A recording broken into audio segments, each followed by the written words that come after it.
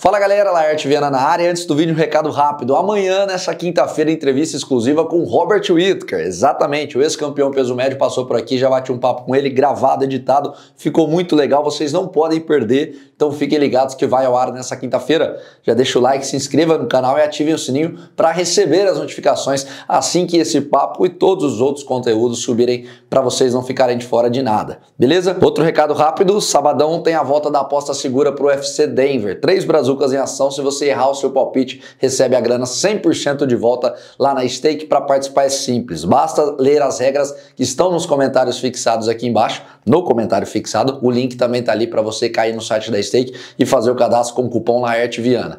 Leia as regras e participe, porque é fácil e não tem erro. Fechou? Vamos pro vídeo.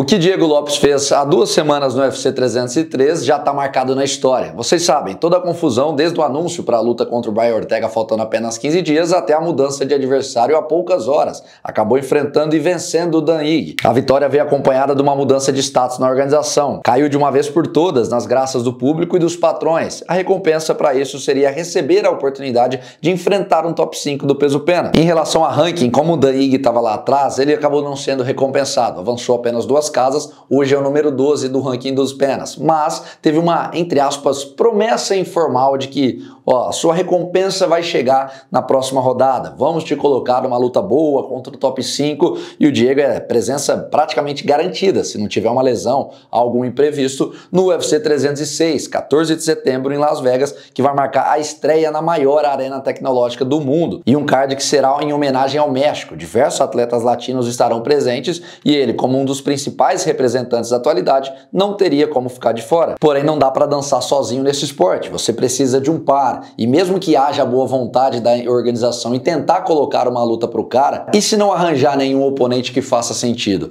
Para o Diego, vale a pena topar qualquer um só para se manter ativo, mas ainda assim não ter a oportunidade de enfrentar um top 5 ou espera, deixa passar e fica parado, por exemplo, até o final do ano? Porque o Brian Ortega, que ele tanto pede, parece que vai realmente subir para os leves. Então estaria descartado. Alexander Volkanovski, outro que o Brazuca está de olho, já disse que quer fazer alguma super luta. Citou o Charles do Bronx, Dustin Poirier, também não deve rolar. A revanche contra o Evoloev, algo que o Diego tanto queria, parece já não fazer mais sentido, pois seu nome cresceu tanto que hoje ele é mais popular que o próprio russo. Tanto que o Evoloev o desafiou nas redes sociais, disse que quer o segundo encontro, mas foi respondido num tom de agora quem não quer sou eu, já tenho outros planos melhores que você. Esse outro plano seria um confronto latino contra Iar Rodrigues, número 4 do ranking, vem de derrota para Ortega, já foi campeão interino e por se tratar de um evento em homenagem ao México, faria muito sentido.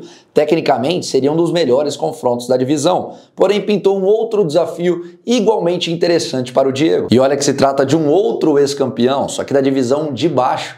Aljamain Sterling, que até pouco tempo dominava o peso galo e estreou no peso pena, vencendo de maneira dominante o Kelvin Keirer no UFC 300, agora em abril, se colocou à disposição no seu canal no YouTube e falou que topa, que quer enfrentar o Diego Lopes no UFC na esfera. Estou pensando em Aljamain Sterling versus Diego Lopes na esfera. Essa luta tem um toque especial. O Evoloev, não sei o que ele está fazendo. Eu dei uma data e ele não aceitou ainda. Tá dando todo tipo de desculpa. Ou você luta comigo nos meus termos, ou eu luto com outra pessoa. Então, Diego Lopes, se você quiser, vamos fazer isso na esfera dia 14 de setembro. Pô, na moral, se eu fosse o Diego Lopes, eu mandava um, tá beleza, tô esperando um contrato, manda aí que eu já vou assinar. Entrava em contato com o empresário, tentava desenrolar e oficializar esse duelo, porque é melhor melhor garantir uma super luta dessa do que ficar esperando alguém ali do top 5 e acabar perdendo uma oportunidade. Eu sei que o Sterling tá fora do top 5, que é o plano do Diego e de fato ele merece. O americano é o número 8, mas ainda assim é bastante popular, tem o status de ser um ex-campeão e chegou na divisão até 66 quilos com a arcanha de, ó, esse cara vai disputar o cinturão em pouco tempo.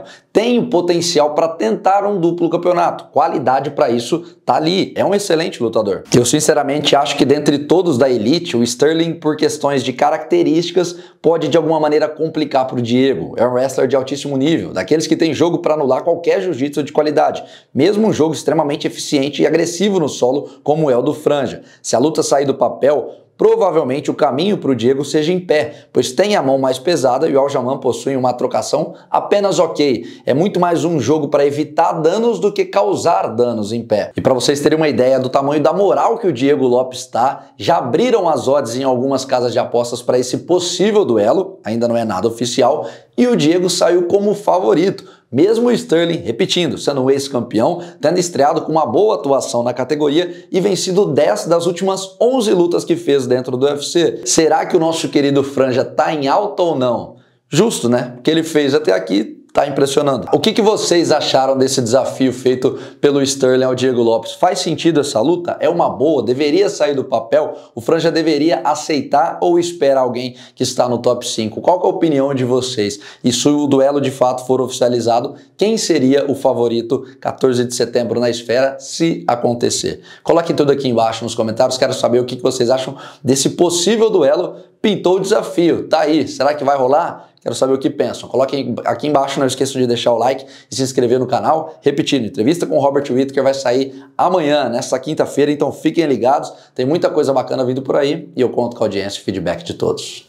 Valeu!